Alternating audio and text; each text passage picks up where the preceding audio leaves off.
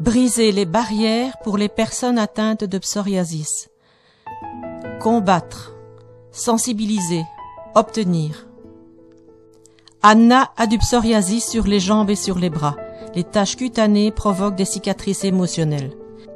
Peter a de l'arthrite psoriasique, inflammation des articulations. Il souffre et ses gestes sont limités.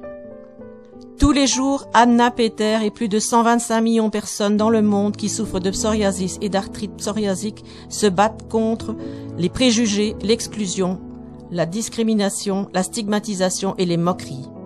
Afin de lutter contre les préjugés, il est important de comprendre que le psoriasis n'est pas contagieux. En outre, les médecins, les professionnels de la santé, les médias et la société doivent avoir accès à l'information sur la maladie. La connaissance et la sensibilisation aideront Peter, Anna et des millions d'autres personnes. Avoir accès au diagnostic et au traitement approprié est essentiel afin d'augmenter la condition d'estime de soi et d'améliorer la qualité de vie des personnes vivant avec le psoriasis. Briser les barrières pour les personnes atteintes de psoriasis. Rejoignez-nous le 29 octobre à l'occasion de la Journée mondiale du psoriasis.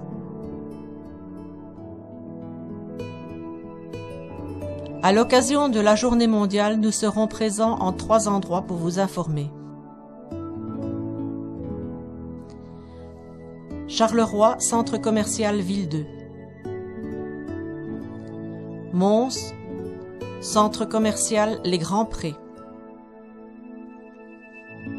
Pommerloch, Luxembourg, centre commercial Knof.